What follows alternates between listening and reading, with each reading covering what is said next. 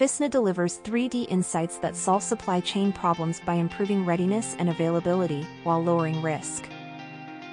Take the Defense Logistics Agency as an example. It supports a complex global organization involving millions of personnel, thousands of installations, and a wide variety of equipment, weapons systems, and supplies. The DLA manages the storage and distribution of items such as nuts and bolts, wrenches, power tools, parts for aircrafts, crates filed with food rations, and even historical artifacts. Question, what do all these objects have in common? They are all 3D objects. But did you know that less than 1% of software used in logistics understands 3D data? We all use 2D proxies such as bill of materials, technical drawings, and part numbers to refer to 3D objects.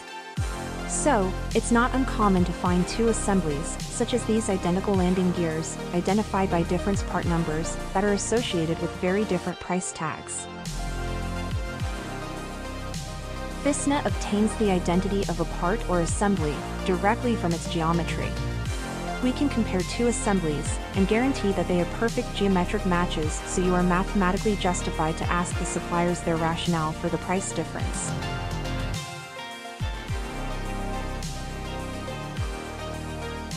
If a parts manager needs to identify an adapter, such as this one, Physna can help, starting with a simple photo.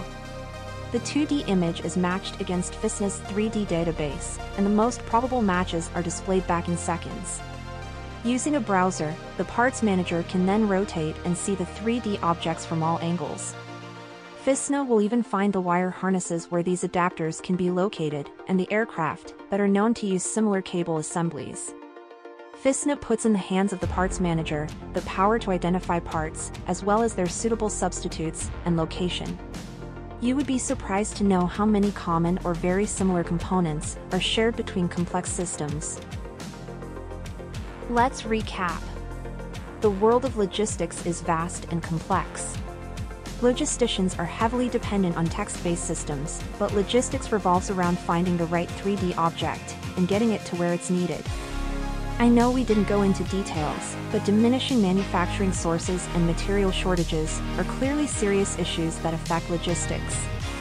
Physna sees the world from a 3D perspective, so Physna can find alternative parts based on their geometry, photos, labels and or metadata.